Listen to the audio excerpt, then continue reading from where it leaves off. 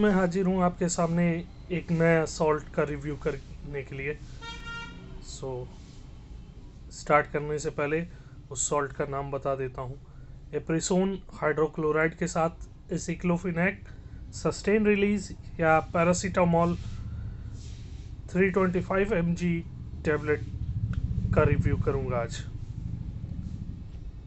Video अच्छी लगे तो लाइक शेयर और सब्सक्राइब ज़रूर करें। ये मेरे पास दोनों ही सॉल्ट्स में मेडिसिन है, जो कि एक एप्रिसोन 50 एम और पैरासीटामोल 325 एम के साथ रिलैक्सोन प्लस करके एटीएन का एक ब्रांड है। और ये दूसरा जो है, ये एप्रिसोन हाइड्रोक्लोराइड के साथ एक्सीक्लोफिनेक सस्टेन रिलीज़ में है, जिसमें कि ये आप देख सकते हैं 150 फिफ्टी एप्रिसोन है और एसिक्लोफिनेक 200 हंड्रेड है। खून जो होता है वो एक एंटी स्पास्मोडिक होता है, जो कि यूज़ होता है रिलैक्सेशन ऑफ़ स्मूथ मसल्स में और इसका काम होता है इश्चिमिक पेन और हाइपरटोनियन हाइपरटोनिया और स्मूथ मसल्स के रिलैक्सेशन के लिए। ये फोर इथाइल टू मिथाइल और थ्री प्रोपिडोनेट का एक सोल्यूशन होता है, जो कि यूज़ होता है as an antispastic pain reliever और इसमें पैरासीटामोल जो यूज़ होता है, वो यूज़ होता है मसल्स को रिलैक्स करने के लिए और ये कॉम्बिनेशन जो होता है, वो रिलैक्स करता है मसल्स को और पेन के सिम्टम्स को ख़त्म करता है।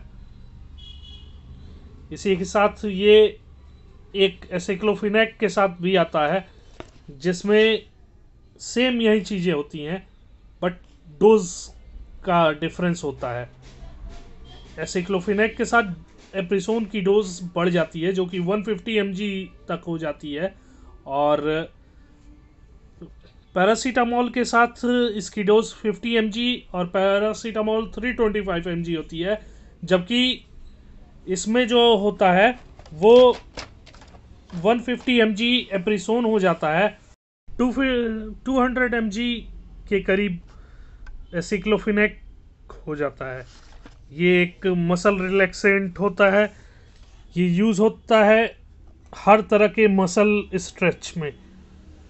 इसके कॉमन साइड इफ़ेक्ट्स भी हो सकते हैं जैसे कि नोज़िया है वॉमिटिंग है हार्ट बर्न है और स्टमक पेन है। कभी कभी लॉस ऑफ़ एपेटाइट मतलब कि भूख नहीं लगना डायरिया के कंडीशन और चक्कर कभी कभी आना वीकनेस महसूस होना, ये सब इसके कॉमन साइड इफ़ेक्ट्स हो सकते हैं।